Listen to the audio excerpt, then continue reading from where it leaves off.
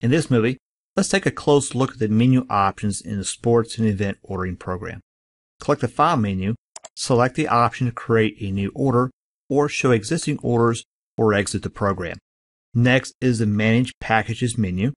With the Manage Package Definitions option, we can modify, create, delete package sets, or print a hard copy of a package set for our reference. Please note, once a package set is selected for use in an order, the order's package set cannot be changed. As mentioned earlier, additional collections can be downloaded or removed with the Download Collections option. From the Administration menu, numerous options can be selected to determine how the program will work for us.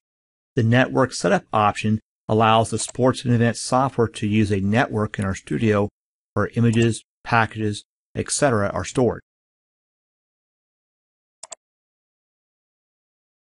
From the System Settings window, we can select how the program is to work for us, review each option, and configure the program to work how we want. Click OK to enable the new settings.